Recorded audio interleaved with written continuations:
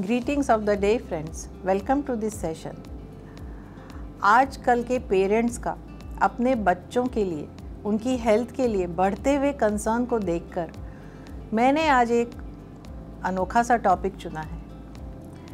Fetal health protection from maternal health pollution यानी कि हम आपको ये कन्वे करना चाहते हैं कि आपके बच्चे की हेल्थ आपके ही हाथों में है और आपकी ज़िम्मेदारी है।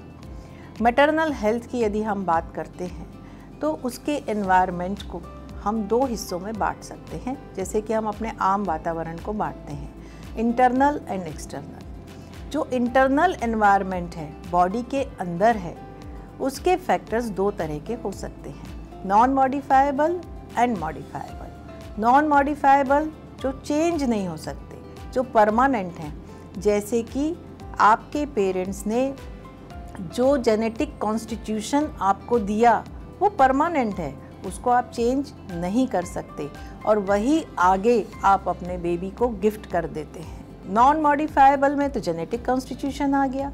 मॉडिफाइल में जो आप एक्वायर कर रहे हैं, आपने अपना वज़न बढ़ा लिया, आप ओबीज हो गए यू आर हाइपरटेंसिव आपका लिवर ठीक से काम नहीं करता डिरेंज फ़ंक्शन है। आपके हाथ में ये सब चीज़ें कंट्रोल करना था, लेकिन आपने किया नहीं।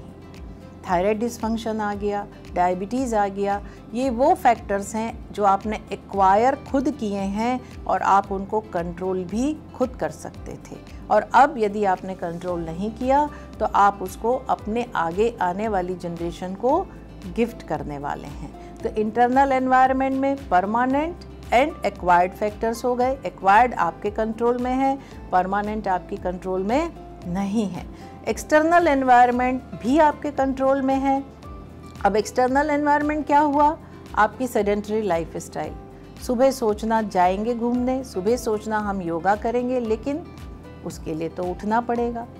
फिर आपकी डाइटरी हैबिट्स जो कि पैटर्न भी ठीक नहीं है क्वालिटी भी ठीक नहीं है, फिर आपका बैड हैबिट्स बैड हैबिट्स में अल्कोहल हो सकता है स्मोकिंग हो सकती है और ध्यान रखिएगा, ये टॉपिक मैंने मैटरनल हेल्थ पोल्यूशन बोला है, लेकिन फादर की भी रिस्पॉन्सिबिलिटी है। तो वो बच्चा तो दोनों से ही आने वाला है, दोनों के गुण लेने वाला है तो ये दोनों को ही ध्यान से रखना पड़ेगा।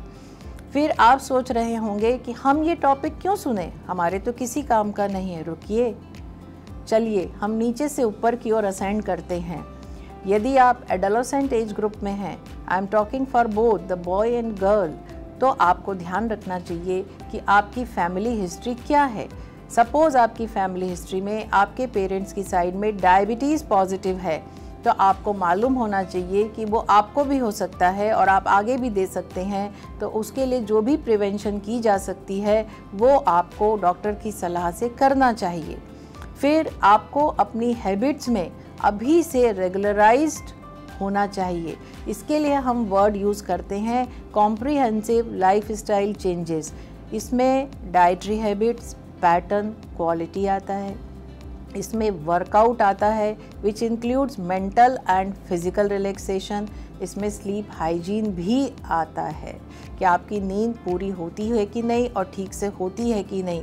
मेरे ख्याल से, मेरी पर्सनल ओपिनियन में, यदि हम केवल इस पर ही फोकस करें तो यही आज की जनरेशन का सबसे बड़ा प्रॉब्लम है।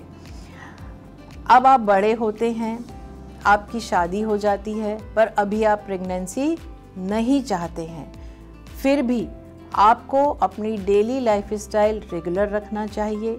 एक बेसिक हेल्थ चेकअप कराकर डॉक्टर की सलाह से ये मालूम करना चाहिए कि आपकी बॉडी का इंटरनल एटमॉस्फेयर कैसा है। आप उसको बेहतर कैसे बना सकते हैं?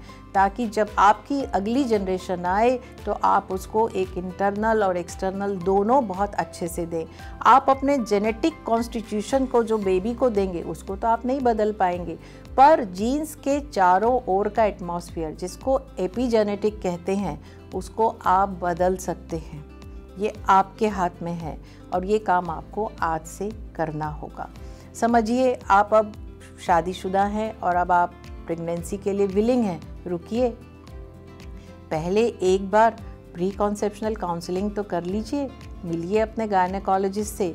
वो आपको एज कपल असेस करेंगे। करने दीजिए ना, ज़मीन अच्छी होती है तो बीज भी अच्छा लगता है, फ़सल भी अच्छी होती है।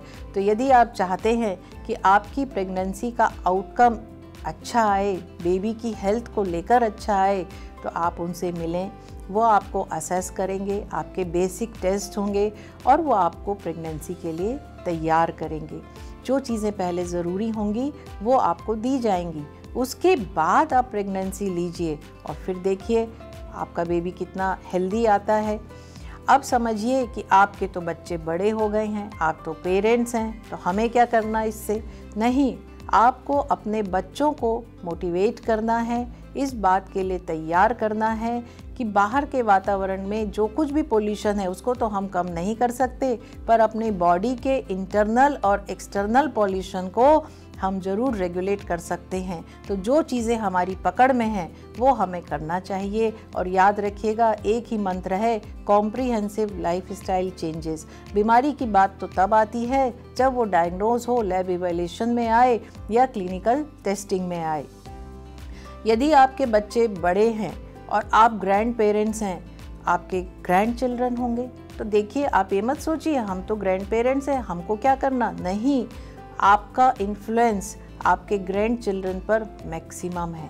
वो किसी की सुने ना सुने अपने ग्रैंड पेरेंट्स की ज़रूर सुनते हैं तो क्या आपकी ड्यूटी नहीं बनती कि उनको बचपन से ही एक रेगुलर लाइफ स्टाइल के लिए अब अभ्यस्त करें, उनकी हैबिट में लाएँ। ताकि उनका एडोलोसेंस उनका एडल्टहुड एक हेल्दी हो। और जब वो हेल्दी होंगे तो नेचुरली आगे की जनरेशन अपने आप हेल्दी होती चली जाएगी। और जो हम ये बातें करते हैं कि हेल्थ होना चाहिए, हमारी जनरेशन में बढ़ता जा रहा है बीमारी तो क्या हम रोक नहीं सकते? हम ही रोक सकते हैं, पर हमें जागरूक होना पड़ेगा आज। और इस तरह जब हम एक बेबी की हेल्थ मदर के अंदर एंटीनेटल पीरियड में इम्प्रूव कर लेते हैं तो मैं सोचती हूँ कि हम उस बच्चे को पूरा भविष्य अच्छा दे देते हैं। चलिए आज से शुरू करते हैं। Thank you